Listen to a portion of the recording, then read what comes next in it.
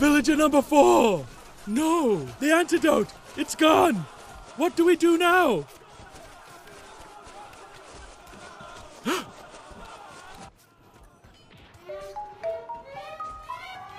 Well, look who it is! Who are you? We've never met. Yeah, so. You got any more of that antidote? Oh! You want this?